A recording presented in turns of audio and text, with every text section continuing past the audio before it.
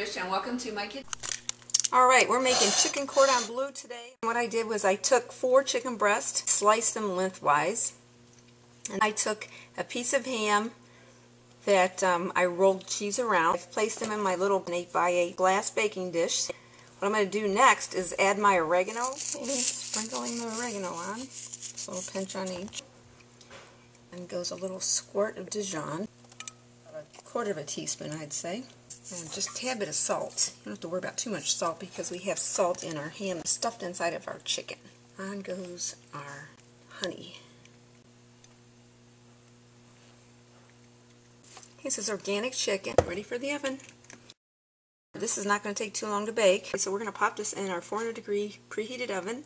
We're going to bake it for about a half hour, and then we'll give it a check and see how it is. Okay, there we have it, chicken cordon bleu. Mmm, doesn't that look yummy? If you want, you can make a sauce. I'll try this without the sauce. We're kind of in a rush today. Mm, pretty good without the sauce.